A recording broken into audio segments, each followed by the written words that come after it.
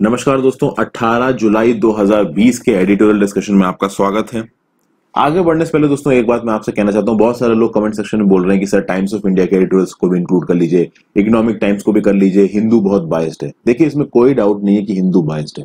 But बात यह है कि हिंदू का जो एडिटोरियल होता है, मैं फ़र्स्ट ऑफ़ ऑल लगभग सारे आर्टिकल्स को इंक्लूड करने की कोशिश करता हूँ। तो उससे होता क्या है कि कंसोलिडेटेड एक हॉलिस्टिक वे से पिछले कुछ दिन के जो भी इंपॉर्टेंट करंट अफेयर्स हैं, वो आपके सामने आ जाते हैं। दूसरी बात, भले ही हिंदू में जो व्यू पॉइंट दे रखा है, वो बायस्ड हो। उसमें मैं अपने व्यू पॉइंट भी देता हूँ। कुछ अलग से चीज़ें मैं ऑनलाइन उठाता हूँ। कुछ मैप्स जो कि मैं डिफरेंट सोर्सेस से आपके लिए लेके आता हूँ और आपको चीज़ें समझाने की कोशिश करता हूँ। तो देखिए, बहुत ज़्यादा न्यूज़पेपर्स पे अभी मत भागिए, मैं आपको सजेशन दे रहा हूँ। आगे आने वाले समय में मैं और करंट अफेयर्स की वीडियो आऊँगा। ठीक है, अगले कुछ एक या दो महीने में, जिससे आपकी होलिस्टिक तैयारी हो जाए करंट अफेयर्स की। इस समय पे इस व्यू पॉइंट की तरफ़ मत जाइए कि अलग अलग न्यूज़पेपर से हम आर्टिकल्स को उठाते हैं और ये सब चीज़ें करते हैं। क्योंकि देखिए अलग अलग न्यूज़पेपर से अगर आप आर्टिकल उठाओगे तो खिचड़ी पकेगी। अगर आपको कोई ये बोल रहा है कि भैया अपनी तैयारी के दौरान चार न्यूज़पेपरों को देखो, तीन न्यूज़पेपरों को देखो तो आप कहते हैं ना सुसाइडल अटेम्प्ट कर रहे हो। एक न्यूज़पेपर को पकड़ो, उस न्यूज़पेपर की अच्छी चीज़ों को लेने की कोशिश करिए। तो वही मैं आपको करने की कोशिश कर रहा हूँ और समय समय पे आने पे मैं अपने करंट अफेयर्स के इनिशिएटिव्स को और रिफाइन करूँगा। इसे थोड़ा पेशेंट रखिए। अभी सिर्फ़ हिंदू पे फोकस करते हैं। कुछ लगा ऐसा दूसरी जगह पे जो बिल्कुल ही स्किप नहीं किया जा सकता हाँ, करना ही करना है तो मैं ज़रूर इंक्लूड करूँगा। ठीक है? तो शुरुआत करते हैं।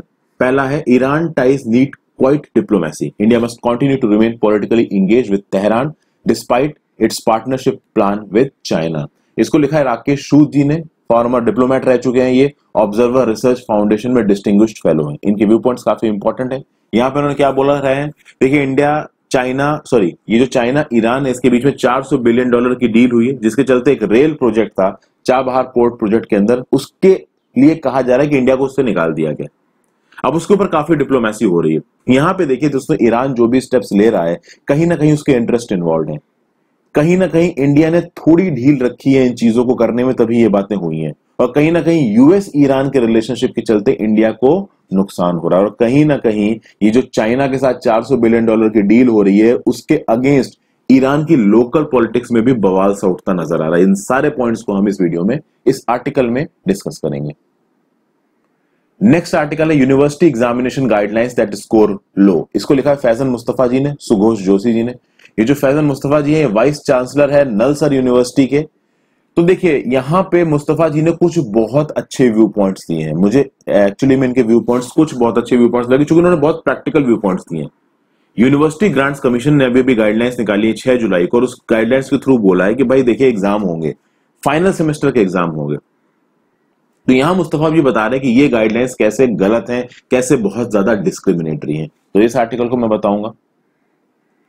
अगला है बियॉन्ड द पेल यहाँ पे देखिए पॉलिटिकल मोरालिटी की बात की गई। अशोक गहलोत और जो उनके डेप्यूटी सीएम थे, सचिन पायलट, इनके बीच में बवाल सा होता नज़र आ गया। राजस्थान में यह बवाल हो रहा है। इससे पहले मध्य प्रदेश में कुछ ऐसा ही बवाल हुआ था, जिसमें कमत, कमलनाथ जी जो उस समय के चीफ मिनिस्टर थे, उनकी सरकार गिर गई। ये मार्च 2020 की बात है और शिवराज सिंह चौहान फिर से चीफ मिनिस्टर बन गए। तो देखिए, यहाँ पे पॉलिटिकल मोरालिटी में सवाल उठाया गया है। क्या हो रहा है इस अशोक गहलोत और सचिन पायलट के बीच में किस तरीके से सचिन पायलट जी अपने तीस एमएलए को लेके हरियाणा में जाके बैठ गए, अभी के लिए क्या चल रहा है इस केस में, इन सब चीज़ों के बारे में यहाँ पे बात की गई है। इसको हम देखने की कोशिश करेंगे। नेक्स्ट आर्टिकल है माइलस्टोन ऑफ़ अ मिलियन यहाँ पे देखिए टेस्ट पॉजिटिविटी रेट की बात की गई यह बोला गया कि पिछले कुछ दिनों में test positive rate positivity rate corona virus का ज़्यादा आ रहा है। फिर स्पेसिफिक स्टेट वाइज बात की गई है कि कुछ स्पेसिफिक स्टेट्स कौन कौन सी जगहों पे प्रॉब्लम को डील कर रहे हैं और कैसे हम ये जो इन्फेक्शन आ रहे हैं कोरोना वायरस को इससे लड़ने में अपनी फाइट को बढ़ा सकते हैं। कुल मिला के यहाँ पे बात ये की गई है कि जो स्टेट्स हैं वो अपने नंबर्स को छुपाने की कोशिश कर रहे हैं, अपने डाटा को छुपाने की कोशिश कर रहे हैं। कोरोना वायरस को कंट्रोल करने पे ध्यान न देके वो अपने नंबर्स को दबा रहे हैं, जो कि बिल्कुल गलत है। तो उसके बारे में ऑथर ने क्या बोला, ये देखेंगे। और फाइनली ये आर्टिकल है, Telangana Covid trials and tribulation यहाँ पे कुछ स्पेसिफिक केसेस की बात की गई है कि कुछ लोगों को कैसे तेलंगाना में अपना इलाज कराने में प्रॉब्लम हुई, कैसे कोविड 19 तेलंगाना में शुरू हुआ, कैसे तेलंगाना की सरकार ने इरिस्पॉन्सिबल तरीके से कोविड 19 के क्राइसिस को डील किया। ये सारी बातें मैं यहाँ पे इस आर्टिकल में बताई गई दोस्तों मैं इस आर्टिकल को डिस्कस कर नहीं रहा हूँ। बहुत ही सिंपल भाषा में लिखा गया ये आर्टिकल आप खुद जाके पढ़ सकते हैं और देख सकते हैं। चूँकि एक स्पेसिफिक स्टेट की बात हो रही है तो स्टेट पीसेस के लिए तो इंपॉर्टेंट हो सकता है बट यूपीएससी परस्पेक्टिव से मैं नहीं बोलूँगा यहाँ पे कुछ काम का है। बट आप एक पढ़ लो, चूँकि ये जो कोविड की न्यूज़ है, जो कोविड के स्टैटिस्टिक्स हैं, ये स्टैटिस्टिक्स एंड ट्रांजिशनिंग है। आगे आने वाले समय में स्टैटिस्टिक्स बदल जाएँगे तो बहुत ज़्यादा फोकस भी नहीं मारना इन पे। इसलिए इस आर्टिकल को आज की डेट में मैं स्किप कर रहा हूँ। और ये टोटल आर्टिकल्स थे एडिटोरियल के, जिसमें शुरुआत हो रही है Iran ties need quiet diplomacy Iran must continue to remain politically engage with Tehran despite its partnership plan with China देखिए इंडिया चाइना के बाद जो स्टैंड ऑफ़ हुआ है, वहाँ पे एक तरीके की रेस चल गई। पहले तो आर्म्स में एक रेस चली इंडिया ने कितनी सारी मिलिट्री परचेजिंग की। अब ऐसा लग रहा है, सामने से दिख रहा है कि चाइना इंडिया के इंटरेस्ट को हर्ट करना चाहता है। और वो इंटरेस्ट को हर्ट कैसे करेगा? तो दूसरे तरीकों से हर्ट करेगा। डायरेक्टली मिलिट्री पे डायरेक्टली बॉर्डर पे तो बवाल कर नहीं सकता। इंडिया की मिलिट्री बहुत स्ट्रांग है। जितना उसको फ़ायदा नहीं होगा, उतना नुकसान हो जाएगा। तो वो दूसरा क्या करेगा? तो वो दूसरा करेगा कि जो इंडिया के अलाइज हैं, उनको उनसे दूर करने की कोशिश करो। और आप देखोगे Iran is actually an ally of India यहाँ पे देखा जाए सामने सामने से जो देखने को मिल रहा है, उस हिसाब से तो आप कह सकते हो कि काफ़ी हद तक ईरान को अपनी तरफ़ खींच के लेके गया है चाइना एक 400 बिलियन डॉलर की डील को साइन करके। हालाँकि इस 400 बिलियन डॉलर की डील के पीछे भी बहुत सारी डिप्लोमेसी चल रही है प्रॉब्लम्स चल रही हैं। इनको हम लोग यहाँ पे समझने की कोशिश करेंगे। सबसे पहले तो दोस्तों हम लोग ईरान का मैप देखते हैं। ये देखिए। ये आपको ईरान का मैप नज़र आ रहा है। बॉर्डर्स देख लेते हैं कौन कौन सी कंट्रीज़ के साथ इनके बॉर्डर्स बनते हैं। तो ईरान के नॉर्थ में कैस्पियन सी दोस्तों। इसी के नॉर्थ में आपको अजरबैजान भी नज़र आ जाएगा। ठीक है अजरबैजान काफ़ी सुंदर सिटी है। बाकू इसकी कैपिटल है। कैस्पियन सी के किनारे है। बड़ा ही खूबसूरत सा शहर है। कभी मौका मिले ज़रूर जाइए। फिर अर्मेनिया यहाँ रहा। अर्मेनिया और अजरबैजान में काफ़ी लंबा पंगा चल रहा है। ईरान के नॉर्थ वेस्ट में पड़ता है टर्की, इसके वेस्ट में आ रहा है इराक, और अगर आप देखेंगे तो इसके साउथ में आ रहा है आपका पर्शियन गल्फ। यहाँ पे कहीं पे है चाहबहार पोर्ट, और यहाँ पे कहीं पे है ग्वादर पोर्ट पाकिस्तान का। ये ग्वादर पोर्ट है, और ये चाबहार पोर्ट है। ये जो स्ट्रेट है, इसको आप बोलते हो स्ट्रेट ऑफ़ होर्मुज ठीक है दिस स्टेट ऑफ़ होर्मुज ये जो कंट्री है, वो है यूएई यूनाइटेड अरब एमिरेट्स ये वाली जो कंट्री है यह है सऊदी अरेबिया और ये वाली जो कंट्री है, ये है ओमान ये है ईरान का मैप, दोस्तों। ठीक है? इसके आगे आ जाते हैं। चाहबहार पोर्ट आपको यहाँ नज़र आ रहा है, जैसा कि मैंने आपको बताया। और इधर आपको ग्वादर पोर्ट नज़र आ रहा है। ग्वादर पोर्ट पाकिस्तान में है और चाइना पाकिस्तान इकोनॉमिक कॉरिडोर के लिए। ग्वादर पोर्ट पोर्ट बहुत इंपॉर्टेंट है। ग्वादर पोर्ट जो पोर्ट है, वो बेल्ट एंड रोड इनिशिएटिव का पार्ट है क्योंकि पूरा का पूरा China Pakistan economic corridor belt and road initiative का पार्ट है। अगर आप चाहबहार पोर्ट की बात करो दोस्तों तो चाहबहार पोर्ट को डेवलप करने में इंडिया ने एक बहुत मेजर रोल प्ले किया है। ठीक है? यहाँ पे कुछ इंपॉर्टेंट पॉइंट्स को देखिए इस मैप में। यहाँ पे आपको जाहिदान नज़र आ रहा है।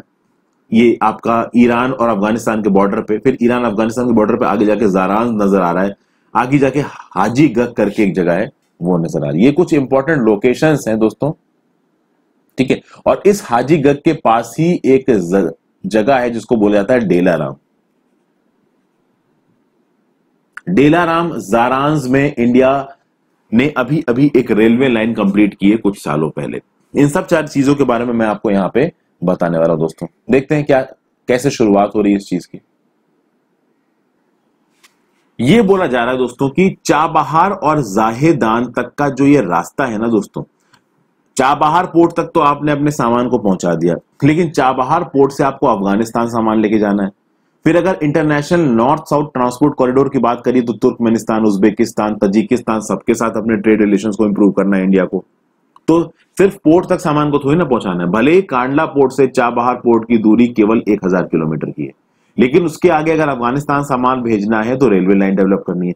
तो बोला गया कि जो 628 किलोमीटर की रेलवे लाइन थी, चाबहार और जाहिदान के बीच में, इसका जो कॉन्ट्रैक्ट है वो इंडिया की एक कंपनी इरकॉन को मिला था। इस कॉन्ट्रैक्ट को ईरान ने कर दिया कैंसिल ठीक है ना? ईरान ने इस कॉन्ट्रैक्ट को कैंसिल कर दिया और खुद इसका कंस्ट्रक्शन करना शुरू कर दिया। बाद में ये स्टेटमेंट आई कि नहीं नहीं, हमने कैंसिल नहीं किया है इंडिया हमारा देश है ऑप्शंस खुले हुए हैं। इस टाइप की बहुत सारी बातें। फिर एक और ये न्यूज़ आई कि नहीं नहीं इंडिया तो कभी इसका प्रोजेक्ट था ही नहीं। तो इस तरीके की पॉलिटिक्स चल रही है। उसके आगे अगर आप बात करो, ये जारान से लेके डेलाराम करके एक जगह है। जारान से लेके डेलाराम करके जो ये डिस्टेंस है, ये लगभग 200 किलोमीटर का है दोस्तों। और इस 200 किलोमीटर की इनफैक्ट 220 किलोमीटर की आप कह सकते हो कि रोड है फ्रॉम जारांस टू डेलाराम तो ये जो हाईवे है दोस्तों, ये इंडिया ने 2008 में ही कंप्लीट कर दिया था। तो जारांस टू डेलाराम का हाईवे जो इंडिया है, वो कंप्लीट कर चुका है। लेकिन ये चाबहार पोर्ट से लेके जाहेदान तक की जो रेलवे लाइन थी, इसमें काम हो गया थोड़ा धीमे। और इसकी एक वजह है। उससे पहले एक और चीज़ देखी जाए दोस्तों की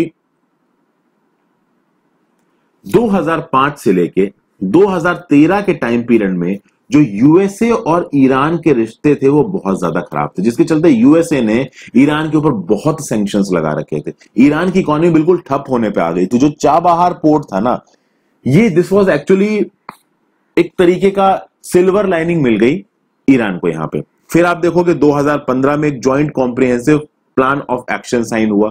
उस joint comprehensive plan of action के चलते USA P five plus one और ईरान के बीच में एक डील हो गई और इस चाबहार पोर्ट पे बहुत तेज़ी से काम होने लगा। आप देखोगे 2016 में हमारे प्रधानमंत्री नरेंद्र मोदी जी गए भी थे आपके ईरान में। तो देखिए क्या लिखा हुआ है। Things move forward after 2015 when sanctions on Iran eased with the signing of joint comprehensive plan of action JCPOA इतनी मेहनत के साथ ये ईरान न्यूक्लियर डील साइन हुई थी। A memorandum of, memorandum of understanding was signed between Iran with Iran during Prime Minister Narendra Modi's visit to Tehran 2016. यानी Narendra Modi ji Tehran गए 2016 में उन्होंने वहाँ पे ईरान के साथ एक डील साइन की और उन्होंने बोला कि जो शाहिद बेहिस्ती पोर्ट है जो कि phase one project phase one है आपका चाबहार प्रोजेक्ट का वहाँ पे दो टर्मिनल्स को ऑपरेट करेगा इंडिया और उसमें सारे इक्विपमेंट्स वगैरह को लगाएगा फिर एक और माइलस्टोन एग्रीमेंट साइन हुआ था किसके किसके बीच में अफ़गानिस्तान, ईरान और इंडिया के बीच में ये एक ट्राइलेटरल एग्रीमेंट था on establishment of international transport and transit corridor जो कि अफ़गानिस्तान, ईरान और इंडिया को जोड़ेगा। ठीक है, इसमें इंडिया ने बोला 85 मिलियन डॉलर की कैपिटल इन्वेस्टमेंट होगी। साथ साथ इंडिया ने बोला कि पोर्ट कंटेनर ट्रैक्स के लिए हम लोग 150 मिलियन डॉलर देंगे। ये जो पोर्ट था दोस्तों, चाबहार पोर्ट और चाबहार पोर्ट डील अभी भी एक्टिव है। इसका जो फ़ेज़ वन था, ये 2018 में ऑपरेशनल हो गया था और 2018 से ही अफ़गानिस्तान में अपने वीट शिपमेंट्स को भेज रहा है इंडिया इसी चाबहार प्रोजेक्ट के थ्रू आप देखोगे दोस्तों, जब जेसीपीओए आया तो यह बात हुई कि चाबहार पोर्ट के पास एक स्पेशल इकोनॉमिक जोन बनाया जाएगा, लेकिन ये स्पेशल इकोनॉमिक जोन उतने एफिशिएंटली बन नहीं पाया चूँकि डोनाल्ड ट्रंप आ गया और डोनाल्ड ट्रंप ने सिनिकली बिना किसी चीज़ को ध्यान रखते हुए पुराने सारे लीडर्स के काम को बेकार करते हुए इस जेसीपीओए को कैंसिल कर दिया। इसके खिलाफ मतलब बहुत ज़्यादा आवाज़ें उठी हैं। फ्रांस, इंग्लैंड, जर्मनी ने इनफैक्ट यूएसए के खिलाफ बोला डोनाल्ड ट्रंप ने जो सिनिकल डिसीज़न लिए हैं कि अपनी मर्ज़ी से कुछ भी कैंसिल कर देते हैं, उसका काफ़ी नुकसान हुआ है। ठीक है? फिर आगे देखते हैं दोस्तों। ये जो 628 किलोमीटर की रेलवे लाइन थी ना आपकी, कहाँ से कहाँ तक की? चाबहार पोर्ट से लेके जाहेदान तक। और ये कहा जा रहा था, जाहेदान से जरांज तक भी इस रेलवे रेलवे लाइन को लेके जाएँगे। तो कहा जा रहा था, इंडिया ने बोला था 1.6 बिलियन डॉलर्स लगेंगे इस रेलवे लाइन को बनाने में। बट इस रेलवे लाइन को बनाने में बहुत बड़े स्टेक्स थे। तो इंडिया ने बोला कि ठीक है, हम इस रेलवे लाइन को बनाएँगे। और बनाते भी। प्रॉब्लम क्या हो गई? प्रॉब्लम ये हो गई कि 2015 में सैंक्शंस लग गए। उसके बाद भी दोस्तों, भले ही 2015 में सैंक्शंस लग गए इंडिया ने एक बहुत मेजर रोल प्ले किया। इंडिया ने यूएसए से बात की और इंडिया ने बोला कि देखिए, ये जो चाबहार रेल प्रोजेक्ट है और ये जो चाबहार पोर्ट प्रोजेक्ट है, इसको आप अपने सैंक्शन से बाहर निकाल दीजिए। इंडिया ने अपनी फॉरेन रिलेशन के थ्रू अपने फॉरेन पॉलिसी के थ्रू ईरान के इन प्रोजेक्ट्स को यूएस सैंक्शन से अलग हटा दिया। और चाबहार पोर्ट पे काम किया और चाबहार पोर्ट आज की डेट में फंक्शनल है। बट रेल प्रोजेक्ट्स में थोड़ी सी देरी हो गई दोस्तों। रेल प्रोजेक्ट्स में देरी क्यों हो गई? देखिए, जब रेल ट्रैक प्रोजेक्ट को बिछाने के लिए एमओयू साइन किया गया तो इसमें इंडिया ने बोला कि देखिए 500 मिलियन डॉलर्स का रोलिंग स्टॉक हम देंगे। सिग्नलिंग इक्विपमेंट देंगे हम 150 मिलियन डॉलर्स का। ठीक है, ये सब काम इरकॉन करेगा। ईरान की रिस्पॉन्सिबिलिटी क्या होगी कि लैंड लेवलिंग का काम वो करेंगे प्रोक्योरमेंट का काम वो करेंगे। तो लोकल लेवल पे जो कुछ भी चीज़ों की ज़रूरत है सीमेंट मिट्टी और लैंड लेवलिंग ये सब काम ईरान करेगा। फिर स्टील ट्रैक्स रोलिंग स्टॉक्स ये सब कौन देगा? इंडिया देगा। यहाँ पे ये सब बात है लेकिन एक प्रॉब्लम हो गई दोस्तों। प्रॉब्लम क्या हुई? कुछ इक्विपमेंट्स यूएस से आने थे। जैसे कि mobile harbour cranes rail mounted gantry cranes ये सारे इक्विपमेंट्स यूएस से आने थे। इन इक्विपमेंट्स को यूएस ट्रेजरी ने सही समय पर रिलीज़ नहीं किया। और ये इक्विपमेंट्स इंडिया पहुँच यहाँ पे, ईरान पहुँच नहीं पाए। अच्छा ईरान इस प्रोजेक्ट में बहुत ज़्यादा इंटरेस्टेड था दोस्तों। ईरान का प्लान क्या है? ईरान का प्लान यह है कि देखिए, इस प्रोजेक्ट के थ्रू हम अपने देश के रेलवे नेटवर्क को बढ़ाएँगे। तो ईरान ने बोला कि अगर ये चाबहार प्रोजेक्ट से लेके जारांस तक की रेलवे लाइन बन जाएगी, फिर हमने डेलाराम तक का हाईवे बना रखा है तो हम कोशिश करेंगे कि हम तुर्कमेनिस्तान के बाउंड्री तक अपने इस रेलवे नेटवर्क को लेके जाए। ठीक है? ताकि हम तुर्कमेनिस्तान के साथ भी अपने ट्रेड को कर पाए। ईरान के लंबे प्लान थे। इसलिए ईरान बहुत सारे ऑफिशियल डिप्लोमेटिक चैनल से लगातार इंडिया से बोल रहा था कि इस पोर्ट प्रोजेक्ट को जल्दी बनाइए बट इंडिया की तरफ़ से हो रही थी देरी। और अब फाइनली ईरान ने खुद इस पे काम करना शुरू कर दिया है। खास बात दोस्तों ये है कि ईरान ने जिन इक्विपमेंट्स के थ्रू काम करना शुरू किया, वो वही स्टील रेल ट्रैक्स है वही रोलिंग स्टॉक है जो कि इंडिया ने प्रोवाइड किए हैं। तो इंडिया बहुत सारा सामान ऑलरेडी ईरान भेज चुका था लगाने के लिए। बट यूएस से जो सामान आना था वो आया नहीं और काम यहाँ पे रुक गया दोस्तों। एक और प्रॉब्लम हुई कि ईरान की एक कंपनी है जिसका नाम है खताब अल अनबिया इस खताब अल अनबिया को यूएस ने एक स्पेशल डेजिग्नेटेड एंटिटी बना दिया। अब ये जो खताब अल अनबिया है, ये एक कॉन्ट्रैक्टर है इस रेल प्रोजेक्ट में। तो इंडियन अथॉरिटीज ने क्या बोला कि अब देखिए हम कह रहे हैं क्या यूएस ने इस कंपनी को एक स्पेशल डेजिग्नेटेड एंटिटी बना दिया तो अब हम इस कंट्री इस कंपनी के साथ, आपकी खताब अल अनबिया कंपनी के साथ लीगली इन्वॉल्व नहीं हो सकते। तो आप एक काम करो, एक दूसरा कॉन्ट्रैक्टर अपॉइंट कर दो। अब देखिए, ईरान के लिए ये सब ह्यूमिलेटिंग बातें हैं दोस्तों। ईरान सोवरेन कंट्री है। उसके यहाँ पे जो भी प्रोजेक्ट चलेगा, वो उसके हिसाब से चलेगा। अब अगर उसने किसी कॉन्ट्रैक्टर को अपॉइंट किया और आप बोल रहे हो कि थर्ड पार्टी ने बोला है कि इस कॉन्ट्रैक्टर के साथ हम ट्रेड नहीं कर सकते, आप इसको हटा दो। तो क्या ईरान के लिए इंडिया पे भरोसा करना आसान होगा? नहीं होगा। वहीं पे चाइना सीधे सीधे यूएस से लड़ाई करके ईरान की मदद करेगा। तो इस समय पे ईरान को तो चाइना ही आप कह सकते हैं ना मेच्योर पार्टनर नज़र आएगा। इंडिया थोड़ा ना एक मेच्योर पार्टनर नज़र आएगा जो यूएस के प्रेशर की चीज़ों, चलते चीज़ों को कम कर देता है। अच्छा एक और बात है। ईरान में और भी बहुत से स्टेट्स हैं दोस्तों इंडिया में। ये जो हजीगत नाम की जगह है ना दोस्तों, इस हजीगत नाम की जगह पे एक डेवलपमेंट हुआ है। यहाँ पे कुछ आयरन ओर की माइंस मिली और उन आयरन ओर की माइंस के लिए जब टेंडर डाला गया तो Steel Authority of India Limited जो कि एक इंडिया की कंपनी है, उसको भी वो टेंडर मिला है। तो ऑब्वियसली बात है, ये रेलवे लाइन के कंस्ट्रक्शन बहुत ज़रूरी है इंडिया के लिए, क्योंकि अगर फ्यूचर में हजीगत नाम की जगह पे आयरन ओर का एक्सप्लोरेशन होता है तो इंडिया को इससे काफ़ी फ़ायदा हो सकता है। इंडिया की स्टील इंडस्ट्री के लिए आयरन ओर की काफ़ी ज़रूरत है। हालाँकि आयरन ओर इंडिया भी प्रोड्यूस करता है बट अपने सोर्सेस को डाइवर्सिफाई करना ज़रूरी है। उनको प्रोड्यूस करके आप दूसरी कंट्रीज़ को बेच सकते हो, फ़ायदा कमा सकते हो प्रॉफिट कमा सकते हो। तो बहुत सारे स्टेक्स इन्वॉल्व है दोस्तों, ईरान और इंडिया के। अच्छा क्या ईरान चाइना को बहुत ज़्यादा पसंद करता है? नहीं दोस्तों, ऐसा कुछ नहीं है कि ईरान चाइना को बहुत ज़्यादा पसंद करता है। ईरान को बहुत अच्छी तरीके से पता है कि चाइना एक एक्सपेंशनिस्ट और कोलोनियलिस्ट पावर है, इसीलिए ईरान इतने सालों से इंडिया के साथ निगोशिएशन कर रहा है। बट इंडिया यहाँ पे यूएस के प्रेशर के चलते कुछ खास कर नहीं पा रहा यूएस तो ईरान से बिल्कुल लड़स आ गया है। अभी देखिए जेसीपीओए आया था दोस्तों joint comprehensive program of action JCPOA के थ्रू ईरान और पी फाइव प्लस वन में एक डील हुई थी। उस डील को डोनाल्ड ट्रंप ने कैंसिल कर दिया। उसी डील के चलते एक पैरेलल रेजोल्यूशन आया था, UNSC resolution two two three one, जिसमें क्या बोला गया? कि भैया देखिए, इस रेजोल्यूशन के थ्रू बोला गया कि ईरान पाँच साल के लिए कोई भी कन्वेंशनल वेपन्स को इंपोर्ट नहीं करेगा। अब जेसीपीओ को तोड़ दिया डोनाल्ड ट्रंप ने, लेकिन डोनाल्ड ट्रंप बोल रहा है कि हाँ भाई, ये जो पाँच साल का रिस्ट्रिक्शन लगा है इंपोर्ट का कन्वेंशनल वेपन्स पे, ईरान पे, इसको हम इन्फोर्स करेंगे। तो इस बात पे फ्रांस और इंग्लैंड चिल्लाने लगे कि आप कर क्या रहे हो? आपने जेसीपीओए को ऑनर किया नहीं, उसको कैंसिल कर दिया और उसके पैरेलल जो ईरान ने यूएनएससी रेजोल्यूशन 2231 साइन किया इसको इन्फोर्स करने की बात कर रहे हो? तो सीधे सीधे डुप्लिसिटी का इल्ज़ाम लगाया है डोनाल्ड ट्रंप पे ऊपर किसने? यूके ने। किसने? फ्रांस ने। डोनाल्ड ट्रंप की जो पॉलिसीज़ रही ना, बड़ी अजीब सी रही है। अच्छा आगे बात करते हैं डोमेस्टिक पॉलिटिक्स की। देखिए, ईरान की जो आप कह सकते हैं पार्लियामेंट है दोस्तों, जिसको हम मजीलिस भी बोलते हैं। ये देखिए किसी भव्य पार्लियामेंट है यहाँ पे जो इनके सुप्रीम लीडर्स हैं इनकी फ़ोटो भी लगी हुई है। इस पार्लियामेंट में अगर टोटल मेंबर्स देखा जाए तो 290 हैं। अब यहाँ पे दो पार्टी एक तो रिफॉर्मिस्ट है, जो कि एक एडवांस्ड व्यू पॉइंट रखते हैं, एक कंजर्वेटिव है, जो पुराना इस्लामिक व्यू पॉइंट रहते हैं। रिसेंटली इलेक्शन में जो कंजर्वेटिव हैं, पहले छियासी थे, अब उनके पास दो सौ इक्कीस सीटें आ गई जो रिफॉर्मिस्ट थे, उनके पास पहले 120 सीटें थी, अब उनके पास 20 सीटें आ रही है। और मजलिस में ऑलरेडी ये बवाल चल रहा है कि भाई, आपने इतनी ज़्यादा सीक्रेटली चाइना के साथ ये डील क्यों करी है? चाइना के साथ इतनी सीक्रेट डील क्यों करी है? और और ईरान की गवर्नमेंट से ये सवाल पूछा जा रहा है कि क्या इस डील में ये बोला गया है कि ईरान अपना किश आइलैंड चाइना को दे देगा? और चाइना वहाँ पे अपना मिलिट्री बेस बनाएगा? या क्या चाइना अपने सोल्जर्स को ईरान की धरती पर डिप्लॉय करेगा? इस चीज़ें के चलते काफ़ी दोस्तों बात हो रही है। तो कुल मिलाकर ऑथर यहाँ पे कहने की कोशिश कर रहा है, ईरान के साथ एक क्वाइट डिप्लोमेसी की ज़रूरत है, क्योंकि कहीं ना कहीं ईरान पूरी तरीके से चाइना पे डिपेंडेंट नहीं होना चाहता है। बट ईरान एक रिलायबल ट्रेड पार्टनर चाहता है, एक ऐसा ट्रेड पार्टनर नहीं जो यूएस के प्रेशर में बकल डाउन करके ईरान का साथ छोड़ दे। ठीक है? काफ़ी लंबा हो गया आर्टिकल आगे चलते हैं। University exams guideline that score low.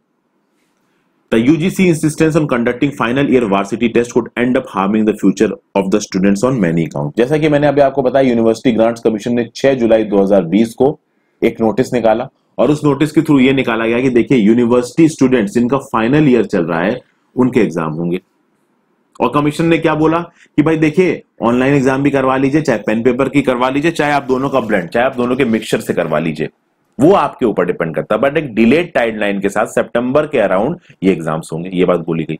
अब इस डिसीज़न को छह स्टेट्स ने अपोज किया है। पंजाब, महाराष्ट्र वेस्ट बंगाल दिल्ली ओडिशा और तमिलनाडु उत्तर प्रदेश ये कह चुका है कि हम एग्जामिनेशन कराएँगे। दिल्ली यूनिवर्सिटी स्टूडेंट्स क्या बोल रहे हैं कि ये डिसीज़न आर्बिट्ररी है डिस्क्रिमिनेटरी है पब्लिक हेल्थ को खतरा है और उसको ऑलरेडी दिल्ली हाईकोर्ट में चैलेंज किया जा चुका है। यूजीसी क्या लॉजिक दे रहा है? यूजीसी बोल रहा है, देखिए, हम इस बेसिस पे करा रहे हैं इन एग्ज़ाम्स को ऑलरेडी देश की 182 यूनिवर्सिटीज एग्ज़ाम कंडक्ट करा चुकी हैं और 234 यूनिवर्सिटीज देश की अगस्त और सितंबर में एग्ज़ाम कंडक्ट कराएँगी। तो जब इतने मेजर स्केल पे यूनिवर्सिटी एग्ज़ाम कंडक्ट करा रही है फाइनल ईयर के तो बाकियों को भी कराने चाहिए। अच्छा कराने का लॉजिक क्या दिया गया? लॉजिक ये दिया गया है कि देखिए भाई फाइनल एग्ज़ाम्स अगर बच्चों के हो जाएँगे तो उनके हाथ में डिग्री आ जाएगी, वो आगे जॉब्स वगैरह के लिए अप्लाई कर सकते हैं। अगर अगर उनको फर्दर कोई पढ़ाई करनी डिग्री करनी फॉरन जाना पढ़ने के लिए तो इन सब चीज़ों के लिए अप्लाई कर सकते हैं। तो यहाँ पे ऑथर क्या बोल रहा है? ऑथर बोल रहा है कि ये चीज़ हमारे सरकार के माइंडसेट को दिखाता है, हमारे एजुकेशन के माइंडसेट को दिखाता है कि हमारा एजुकेशन अभी भी एग्जामिनेशन सेंट्रिक है। उनकी गाइडलाइंस में एक चीज़ इंपॉर्टेंट है कि भाई एग्ज़ाम क्वालिफाई करना ज़रूरी है। जबकि ऑथर यहाँ पे साफ़ साफ़ बोल रहा है कि एग्ज़ाम्स किसी भी तरीके से एक कैंडिडेट की एबिलिटी को नहीं दिखाते हैं। एग्ज़ाम किसी भी तरीके से एक कैंडिडेट की लॉजिकल थिंकिंग को नहीं दिखाते हैं। ये जो स्टेप लिया है यूजीसी ये यूजीसी स्टेप लेके क्या दिखा रही है? कि सर्टिफिकेशन ज़्यादा ज़रूरी है। ठीक है ना? रोट लर्निंग ज़्यादा ज़रूरी है, ना कि प्रैक्टिकल लर्निंग और सर क्या बोल रहा है? हर साल हमारे देश में बहुत सारे बच्चे सुसाइड कर लेते हैं इन पढ़ाई की ये जो हैफाजर्ड वे है पढ़ाई का, ये जो पेन पेपर टेस्ट है, जो लोग कुछ लोग उसमें परफॉर्म नहीं कर पाते हैं, उसकी वजह से बहुत सारे लोग सुसाइड कर लेते हैं। तो ये जो एग्ज़ाम को आप एक बेंचमार्क बना रहे हो ना, एक बच्चे की प्रोग्रेस का, ये बेंचमार्क बनाना गलत है। ऐसा बोलना है यहाँ पे ऑथर का। ऑथर ने यहाँ पे यूनाइटेड स्टेट्स का एग्ज़ाम्पल लिया है। ऑथर ने बोला है कि कोई भी यूनिवर्सिटी ग्रांट्स कमीशन जैसी बॉडी यूनाइटेड स्टेट्स में है नहीं। यूजीसी के बारे में ऑथर ने बताया कि यूजीसी को, चूँकि आप नाम में ही देखिए यूनिवर्सिटी ग्रांट्स कमीशन ग्रांट्स का मतलब होता है पैसा। तो यूजीसी को बनाया गया था as a fund granting institution इसका नॉमन का मतलब ही यही है। लेकिन आप देखोगे जब यूजीसी एक्ट लेके आया 1956 का तो इस यूजीसी को एक पावर दी गई तो कि आप यूनिवर्सिटीज में स्टैंडर्ड्स को लेआउट कर सकते हैं। कैसे यूनिवर्सिटीज कॉम करेंगी, उसको आप कोऑर्डिनेट कर सकते हो। तो कुल मिला के यूजीसी एक रेगुलेटर बन गया हायर एजुकेशन का। जबकि रेगुलेटर बनना नहीं चाहिए। हायर एजुकेशन यूनिवर्सिटी के हिसाब से होनी चाहिए। यहाँ पे ऑथर बोल रहा है कि बहुत सारी वेस्टर्न कंट्रीज़ है, दुनिया में ऐसी बहुत सी कंट्रीज़ है जहाँ पे जो टीचर होता है, जो एकेडमिशियन होता है, वो अपने हिसाब से बच्चों को एसेस करता है। और इंडिया में क्या होता है कि टीचरों को बताया जाता है कि आप ऐसे बच्चों को एसेस करें। प्लस ऑथर यहाँ पे ये भी बोल रहा है कि इंडिया में जो टीचर हैं, वो उतने क्वालिफाइड नहीं है, इतने पढ़े लिखे नहीं उनके पास, खुद के पास इतनी ट्रेनिंग नहीं है कि वो बच्चों को बहुत अच्छे से पढ़ा पाए। तो वो क्या एसेस करेंगे? फिर ये बोला कि यूजीसी की जो गाइडलाइंस आई है 6 जुलाई को, इससे पहले ऑलरेडी राजस्थान, हरियाणा और महाराष्ट्र ये डिक्लेयर कर चुके थे कि हमारे यहाँ पे फाइनल ईयर यूनिवर्सिटी एग्ज़ाम नहीं होंगे। अब आप कह रहे हो फाइनल ईयर यूनिवर्सिटी एग्ज़ाम कहलाओ। तो देखिए ये कोऑपरेटिव फेडरलिज्म के अगेंस्ट भी जाता है। कोऑपरेटिव फेडरलिज्म में स्टेट और सेंटर एक दूसरे का साथ देंगे। अगर सेंटर्स को यह लगता है कि उनके इलाके में यूनिवर्सिटी फाइनल एग्ज़ाम्स होने से कोरोना वायरस फैल सकता है और महाराष्ट्र वेस्ट बंगाल की हालत तो वैसे ही बहुत खराब है।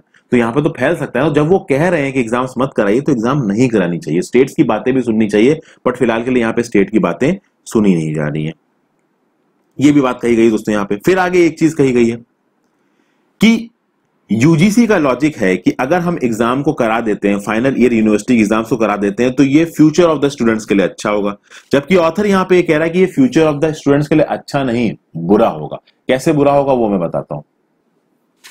नॉर्मल कोर्सेज में क्या होता है? नॉर्मल कोर्सेज में इस समय तक जुलाई का एंड आ रहा है। जुलाई के एंड आने तक सारे एग्ज़ाम्स हो सकते हैं। ज़्यादातर एग्ज़ाम्स के रिजल्ट्स भी आ गए होते हैं और बहुत सारे कॉलेजेस अपने प्रोविजनल सर्टिफिकेट्स बांट रहे होते हैं। और इन्हीं प्रोविजनल सर्टिफिकेट्स के दम पे आप दूसरी जगह पे जाके नौकरी के लिए अप्लाई करते हो। किसी हायर एजुकेशन में पढ़ने के लिए जाना तो वहाँ के लिए अप्लाई करते हो। तो अगर आपने बीटेक कर लिया है तो बीटेक करने के बाद आप एमबीए के लिए अप्लाई कर सकते हो। लेकिन एमबीए कॉलेजेस की एंट्री तो शुरू हो चुकी है ना। तो बीटेक के फाइनल ईयर एग्ज़ाम्स अगर कोई यूनिवर्सिटी करा रही है, किसी और कोर्स के फाइनल एग्ज़ाम्स अगर कोई यूनिवर्सिटी सितंबर में करा रही है, जिसका रिज़ल्ट मान लीजिए नवंबर दिसंबर तक आएगा, उसके आगे अगर किसी को कोर्स करना है जाके तो वो कोर्स तो ऑलरेडी शुरू हो चुका है। तो यहाँ पे आप ये एग्ज़ाम करा के किस तरीके से भला कर रहे हो बच्चों का? यहाँ पे ऑथर ये कहने की कोशिश कर रहा समझ रहे हैं ना बात को? कुल मिला के कहने का मतलब ये है कि जैसे आपने फ़र्स्ट ईयर सेकेंड ईयर के बच्चों के साथ किया है कि उनको प्रीवियस सेमेस्टर के बेसिस पे, उनकी प्रीवियस परफॉर्मेंस के बेसिस पे आप पास करने की बात कर रहे हो। उसी तरीके से आप फाइनल ईयर में भी कर सकते हो। कम से कम उनको सर्टिफिकेट्स मिल जाएँगे तो वो आगे जाके एम्प्लॉयमेंट के लिए, आगे पढ़ाई के लिए अप्लाई कर सकते हैं। आप सितंबर में एग्ज़ाम करोगे तो कब सर्टिफिकेट दोगे, कब वो आगे अप्लाई करेंगे। तो मतलब ये जो एग्ज़ाम कराने का लॉजिक है, ये लॉजिक भी फ्रूटफुल नहीं है। क्यों नहीं है? इसका रीजन आपके सामने है। क्योंकि अगर सर्टिफिकेट देने तो अभी देने उसके बेसिस पे आगे अभी अप्लाई करेंगे लोग एम्प्लॉयमेंट के लिए और पढ़ाई के लिए। तो सर्टिफिकेट आप कब दोगे? जब एग्ज़ाम ही सितंबर एंड में होगा और मान लो कोरोना का पैंडेमिक फैल गया तो एग्ज़ाम होगा ही नहीं। फिर क्या करोगे? फिर आगे ऑथर ये कह रहा है कि देखिए इन्फेक्शन हो सकता है सबसाइड ना करे। और डब्ल्यूएचओ ने तो बोल ही दिया है कि भैया, ये कोरोना वायरस की क्लासेस और गंदी होने वाली है। तो अगर ये कोरोना वायरस की क्राइसिस और गंदी हो गई तो यूजीसी जिसने अभी सितंबर की डेडलाइन रखी है, हो सकता है वो डेडलाइन को आगे शिफ्ट करे। या फिर यूनिवर्सिटी से बोला जाए कि आप ऑनलाइन एग्ज़ाम्स कंडक्ट कराओ हर केस में। अगर यूनिवर्सिटीज ऑनलाइन एग्ज़ाम कंडक्ट कराती हैं हर केस में तो यहाँ पे डिस्क्रिमिनेशन हो जाएगा। कैसे डिस्क्रिमिनेशन हो जाएगा? वो बच्चे जो गरीब घरों से आते हैं, जिनके पास ना इंटरनेट है, ना इलेक्ट्रिसिटी है, ना स्टडी मटेरियल है, वो क्या पढ़ेंगे? वहीं पे वो बच्चे जिनके घरों में सारा पढ़ने का इन्वायरमेंट है, पैसे हैं इलेक्ट्रिसिटी है, सब कुछ है, वो ऑटोमेटिकली गरीब बच्चों के कंपैरिजन में एडवांटेज में आ जाएँगे। दूसरी बात ये बोली गई कि मान लीजिए कोरोना वायरस ज़्यादा फैल गया और आपको डेडलाइन आगे बढ़ानी पड़ी। अगर आप डेडलाइन और आगे बढ़ाते हो तो और अनसर्टेनिटी आएगी, और कंफ्यूजन आएगा, कितना आगे बढ़ाओगे डेडलाइन एक लिमिट है ना डेडलाइन आगे बढ़ाने की। और इन केस अगर मान लीजिए एंड में इतनी ज़्यादा क्राइसिस गंदी हो गई कि आपने एग्ज़ाम कैंसिल करने पड़ गए सितंबर आते आते तो आपकी जो पूरी एक्सरसाइज है ना, ये फेल्योर फेल हो जाएगी। ओके और हो सकता है कि सितंबर तक आते आते अगर एग्ज़ाम्स को कैंसिल करने की बात हो जाए तो गवर्नमेंट के ऊपर इतना प्रेशर आ जाए दोस्तों की गवर्नमेंट की पॉलिसी गलत है। जब भी गवर्नमेंट की कोई पॉलिसी गलत हो जाती है अपोजिशन अटैक करता है। समझ गए ना? अब गवर्नमेंट की यहाँ पे पॉलिसी अगर गलत हुई अपोजिशन ने अटैक किया तो हो सकता है गवर्नमेंट प्रेशर में एग्ज़ाम कराने लगे। तो वो भी कोरोना वायरस के इन्फेक्शन को स्पाइक कर सकता है। फिर ये जो चार से छह महीने का टाइम है, मई, जून, जुलाई, अगस्त, ये वाला जो टाइम है दोस्तों, ये बहुत इंपॉर्टेंट है। और यहाँ पे दो अलग ग्रुप्स बनते हैं। एक तो एलिट का ग्रुप बनता है प्रिविलेज क्लास का ग्रुप बनता है, जो कि अपने घरों में आराम से बैठा है, उनके पास खाने पीने कोई प्रॉब्लम नहीं है, किसी भी तरीके की इकोनॉमिक प्रॉब्लम नहीं, वो आराम से बैठ के पढ़ रहे हैं। वहीं पे उनके कुछ ऐसे साथी हैं, जो कि गरीब घर के हैं, जो कि इस समय पे डिसएडवांटेज है। कुछ हो सकता है गरीब घर के नहीं हो हो सकता है वो रिमोट एरियाज़ में रहते हो, उनके पास कनेक्टिविटी ना हो।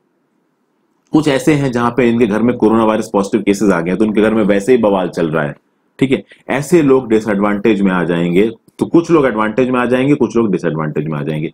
इस एडवांटेज और डिसएडवांटेज को कम करने के लिए बेटर ये है कि या तो आप पिछले सेमेस्टर्स के परफॉर्मेंस के बेसिस पे इनको डिग्रियाँ दे दो, या फिर आप एग्ज़ाम्स ओवरऑल कैंसिल कर दो और एक साल का गैप कर दो। कुछ इस तरीके का यहाँ पे ऑथर करने की कोशिश कर रहे हैं दोस्तों। तो ये था एक इंपॉर्टेंट आर्टिकल आगे चलते हैं beyond the pale Ashok Gehlot has manage the crisis but Rajasthan is in a prolong political drama यहाँ पे क्या कहा जा रहा है दोस्तों देखिए। पॉलिटिकल मोरालिटी पे यहाँ पे आवाज़ उठाई जा रही है। राजस्थान में बवाल आपको पता ही है अशोक गहलोत जी वहाँ के सीएम है और former deputy sorry former deputy थे आपके सीएम सचिन पायलट सचिन पायलट और अशोक गहलोत जी के बीच में हो गया बवाल। एक्चुअली सचिन पायलट जी के पहले से पॉलिटिकल एम्बिशंस थे, उनका यह सपना था कि वो राजस्थान के सीएम बन जाए। ऐसे बहुत सारे लोग बोलते हैं न्यूज़पेपर रिपोर्ट्स के हिसाब से बता रहा हूँ, मेरा खुद का कोई यहाँ पे पर्सनल व्यू नहीं है। लेकिन आप देखिए कि अब एक टर्फ वॉर से छिड़ गया है। और भले ही सचिन पायलट जी बार बार पब्लिक में आके बोल रहे हैं कि मेरा बीजेपी से कोई लेना देना नहीं है, मेरी बीजेपी के साथ कोई पार्टनरशिप नहीं है बट जो भी सचिन ये सचिन पायलट जी यहाँ पे कर रहे हैं, वो बीजेपी की एक्चुअली इंटरेस्ट की तरफ़ ही जा रहा है। ये सब बातें बोली गई। तो सचिन पायलट जी ने किया क्या? पास में जो बीजेपी रूल हरियाणा स्टेट है, वहाँ पे एक रिजॉर्ट बुक किया। और जितने भी सचिन पायलट के सपोर्टर एमएलए थे, वो वहाँ पे जाके कुछ तरीके की कुछ पार्टी कर रहे थे। कुछ बातचीत चल रही थी उनकी आपस में। कांग्रेस सेंट्रलाइज लीडरशिप जब अशोक गहलोत को यह बात पता चली तो उन्होंने उनसे सवाल पूछा कि भाई, आप ये क्या कर रहे हैं? क्या ऐसा कुछ जो अभी राजस्थान में हो रहा है? पहले कुछ हुआ है? बिल्कुल हुआ है, दोस्तों। कमलनाथ जी की गवर्नमेंट गिर गई थी मार्च 2020 में। और फिर से शिवराज सिंह चौहान आ गए आपके राज में। कमलनाथ जी, आप कह सकते हैं लगातार तेरह साल सीएम रहे हैं। और 2018 में सॉरी शिवराज सिंह चौहान लगातार तेरह साल सीएम रहे हैं। 2018 में पावर में कौन आए? कमलनाथ जी। और मार्च 2020 में उनकी गिर गई सरकार। तो यहाँ पे काफ़ी बवाल हो गया है। तो जो रूलिंग पार्टी है राजस्थान की, उसके साथ एक एफ़ आई आर फाइन की गई। किसके अगेंस्ट में? यूनियन मिनिस्टर गजेंद्र सिंह शेखावत के अंदर में। जो कांग्रेस की सेंट्रलाइज लीडरशिप है, कांग्रेस की जो स्टेट लीडरशिप है राजस्थान में, वो लगातार ये बोल रही है कि जो बीजेपी है, जो बीजेपी की सेंट्रलाइज लीडरशिप है, वो सरकार गिराने की कोशिश कर रही है। और जो राजस्थान के स्पीकर हैं, उन्होंने एक नोटिस इशू किया है मिस्टर सचिन पायलट को, और 18 एमएलए को किसके अंदर? एंटी डिफेक्शन लॉ के अंदर। उनसे बोला गया है कि 21 जुलाई तक आके अपना स्टेटमेंट दीजिए, नहीं तो आपको निकाला जा सकता है असेंबली से। तो कुल मिला के देखें यहाँ पे कुछ कन्फ्रंटेशन की सिचुएशन बन रही है। एक तो राजस्थान स्टेट गवर्नमेंट और सेंट्रल गवर्नमेंट के बीच में कन्फ्रंटेशन की सिचुएशन बन रही है। एक राजस्थान स्टेट गवर्नमेंट और हरियाणा की स्टेट गवर्नमेंट के बीच में कन्फ्रंटेशन की सिचुएशन बन रही है। ठीक है? क्योंकि अगर ये सारे एमएलए राजस्थान में होते तो कुछ इनके ऊपर पुलिस एक्शन कर सकते थे रूलिंग पार्टी हरियाणा में जाके बैठ गए तो किसी तरीके का पुलिस एक्शन हो नहीं सकता। प्लस जुडिशरी भी अब यहाँ पे इन्वॉल्व हो रही है। हाई कोर्ट की भी इन्वॉल्वमेंट यहाँ पे अब होती हुई नज़र आ रही है। क्योंकि स्पीकर ने हाई कोर्ट को बताया है, ठीक है भाई, कि जो नोटिस दिया है इनको एंटी डिफेक्शन का नोटिस दिया गया है मिस्टर पायलट को अठारह एमएलए को, इस पे रिप्लाई करने की जो डेडलाइन दी गई है, वो है 21 जुलाई। अब यहाँ पे दोस्तों देखिए पॉलिटिकल मोरालिटी की बात आ रही है। लोग इन पॉलिटिकल रिप्रेजेंटेटिव्स को चुन के सरकार में बैठाते हैं और ये पॉलिटिकल रिप्रेजेंटेटिव्स अपने आप को चुनने के बाद देखिए क्या काम कर रहे हैं। डेवलपमेंट का तो कुछ काम हो नहीं रहा है।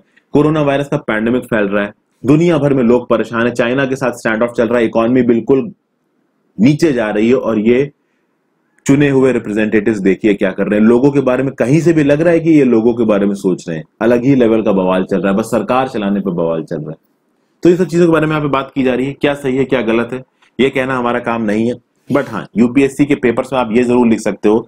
The political immorality being displayed in the you know context of Rajasthan state government should be avoided इस तरीके करके स्टेटमेंट्स आप एथिक्स के पेपर में या किसी और पेपर में लिख सकते हैं। बिना किसी पॉलिटिकल पार्टी का नाम लिए, बिना किसी लीडर का नाम लिए हुए। ठीक है? आगे चलते हैं।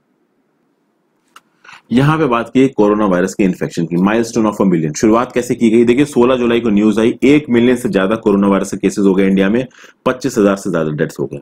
शुरुआत में देखा जाए तो कोरोना वायरस के पैंडेमिक को शुरू होने के बाद 109 दिन लगे थे इंडिया में एक लाख केसेस पहुँचने में। एक लाख से दो लाख केसेस पहुँचने में लगे पंद्रह दिन। और उसके बाद अगर पिछले कुछ दिनों की बात करिए तो देखिए दोस्तों, एक लाख केसेस केवल तीन दिनों में आ रहे हैं। तो सिचुएशन बहुत ज़्यादा खराब है। टेस्ट पॉजिटिविटी रेट जो है इंडिया में वो बहुत तेज़ी से बढ़ रहा है। लास्ट कुछ दिनों की बात की जाए तो जितने भी कोरोना वायरस के टेस्ट हुए हैं, आप कह सकते हो 10.3 परसेंट का टेस्ट पॉजिटिविटी रेट है। यानी अगर तीन दिन में एक लाख केसेस जुड़ रहे हैं तो लगभग तैंतीस हज़ार केसेस मान लीजिए एक दिन में। और अगर तीन लाख से ज़्यादा टेस्टिंग हो रही है तो 10.3 परसेंट के टेस्टिंग रेट के टेस्ट पॉजिटिविटी रेट के हिसाब से डेली के बेसिस पे लगभग तैंतीस हज़ार केसेस आ रहे हैं। तो मतलब एक चीज़ तो बहुत अच्छी हो रही है कि हमारे यहाँ पे जो टेस्टिंग की स्पीड है वो बढ़ गई। तीन लाख से ज़्यादा टेस्ट हम लोग एक दिन में कर रहे हैं बट वो अभी भी इनफ है नहीं। क्योंकि देखिए, अगर हमारा टेस्ट पॉजिटिविटी रेट बढ़ रहा है तो कहीं ना कहीं ये कहा जा सकता है कि जो कम्युनिटी स्प्रेड है वायरस का, वो शुरू हो चुका है। तो ये जो चीज़ें होती है ना कॉन्टैक्ट ट्रेसिंग टेस्टिंग आइसोलेशन ये बहुत ज़रूरी हो गया। मैं आपको एक एग्ज़ाम्पल देता हूँ दोस्तों। एडमिनिस्ट्रेशन में लैप्सेस किस तरीके से मैं मुंबई में रहता हूँ। मेरे वाइफ के ऑफ़िस में दो लोगों को कोरोना निकला। कोविड पॉजिटिव थे वो। तो ऑफ़िस में काफ़ी बवाल समझ गया।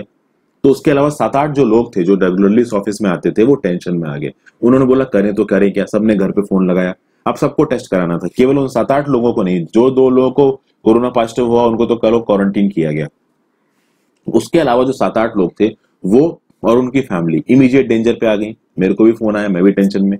तो अब हम लोगों ने सोचा कि कोविड नाइन्टीन का टेस्ट कहाँ कराया जाए। अब कोविड नाइन्टीन के टेस्ट में जब हम लोगों ने सरकारी हॉस्पिटल में फ़ोन किया तो भैया वहाँ पे प्रॉब्लम थी। क्या प्रॉब्लम थी? सरकारी हॉस्पिटल में जो नंबर मिल रहा था कोरोना की टेस्टिंग का मतलब एक तो शाम को या अगले दिन, ऊपर से वहाँ पे बहुत भीड़, ऊपर से रिज़ल्ट आएँगे सात दिन के बाद। और सात दिन में तो भैया कितने लोगों को इन्फेक्ट कर देंगे पता ही नहीं है। अगर मान लो हम में से किसी को निकल आए तो।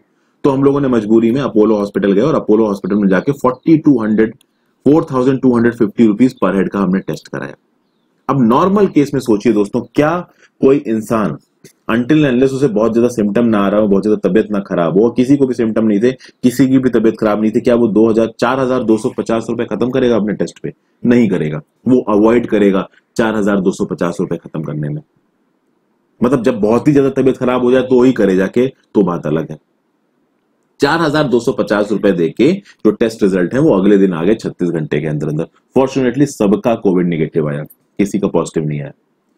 इस टाइम पीरियड में देखिए एडमिनिस्ट्रेशन की तरफ़ से फ़ोन नहीं आया। अब यहाँ पे मैं एडमिनिस्ट्रेशन की गलती नहीं निकाल रहा हूँ। देखिए एडमिनिस्ट्रेशन के पास भी बहुत प्रॉब्लम्स है। महाराष्ट्र में और खासकर मुंबई में कोरोना की प्रॉब्लम बहुत ज़्यादा है। बट क्या है कि ऑथर यहाँ पे क्या कहने की कोशिश कर रहा है? ऑथर कहने की कोशिश ये कर रहा है कि अगर आपको कोरोना के स्प्रेड को रोकना है तो आपको टेस्टिंग ट्रेसिंग और आइसोलेशन तेज करना पड़ेगा। अगर मान लीजिए कोई एक ऐसा कोरोना इन्फेक्टेड पेशेंट हो जो किसी सरकारी हॉस्पिटल में जाता है, सरकारी हॉस्पिटल में टेस्ट कराता है और उसकी रिपोर्ट पाँच से सात दिन बाद आती है और वो कोरोना पॉजिटिव निकलता है तो इन पाँच से सात दिनों में वो कितने लोगों को इन्फेक्ट कर देगा, इसकी कोई हिसाब नहीं है। एक तरीके का कैटेस्ट्रॉफिक वो हो जाएगा और ऐसा कुछ हो भी रहा है। आप देखिए, केरला केरला की बात करें, कर्नाटका की बात कर लीजिए, आंध्र प्रदेश की बात कर लीजिए तो शुरुआत में इन्होंने वायरस को रोका। बाद में देखिए, कितनी तेज़ी से वायरस फैल रहा है। बेंगलुरु में शुरुआत में ऐसा लगा कि वायरस को बहुत अच्छे तरीके से बेंगलुरु ने हैंडल किया, लेकिन बेंगलुरु में भी तेज़ी से वायरस फैलने लगा। चेन्नई में भी तेज़ी से वायरस फैलने लगा। दिल्ली में टेस्ट पॉजिटिविटी रेट कम हुआ है, बट दिल्ली का स्टोरी ही अलग है। वहाँ पर रैपिड किट्स का इस्तेमाल हो रहा है रैपिड किट्स एंटीजन किट्स, जिसके बारे में मैंने पिछले एडिटोरियल वीडियोस में बताया वो कितनी पॉजिटिव है, कितनी इफ़ेक्टिव है, इसके बारे में भी डाउट है। मुंबई के धारावी में चीज़ों को कंट्रोल किया गया है। गुजरात में 9.1 परसेंट का टेस्ट पॉजिटिविटी रेट चल रहा है। तेलंगाना में 18.4 परसेंट का टेस्ट पॉजिटिविटी रेट चल रहा है। तेलंगाना में 18.4 परसेंट का टेस्ट पॉजिटिव रेट है। तेरह हज़ार से ज़्यादा केसेस हो चुके हैं पिछले दो दिनों में, लेकिन फिर भी वहाँ पे टेस्टिंग को बढ़ा नहीं रहे। तो कुल मिला के बात ये हो रही है कि जिन स्टेट्स के सामने ये चैलेंजेस जा रहे हैं, वो उन चैलेंजेस को एक चैलेंज की तरह ले, ना लेके, उनको टेस्टिंग ना करके वो कर क्या रहे हैं? वो डाटा को दबा रहे हैं। वो डाटा को छुपा रहे हैं। और ये कैटास्ट्रॉफिक हो जाएगा। यहाँ पे न्यूयॉर्क का एग्ज़ाम्पल दिया गया। न्यूयॉर्क में गंदा फैला था कोरोना वायरस बट फिर भी उसको कंट्रोल कर लिया गया, क्योंकि टेस्टिंग ज़बरदस्त हुई। उस चीज़ को बाद में दबाया नहीं गया, आगे उसके साथ डील किया गया, लड़ाई की गई। यहाँ पे स्टेट गवर्नमेंट इस चीज़ को दबाने की कोशिश कर रही हो और दबाना काउंटर प्रोडक्टिव हो जाएगा। ये बोला जा रहा है आर्टिकल में।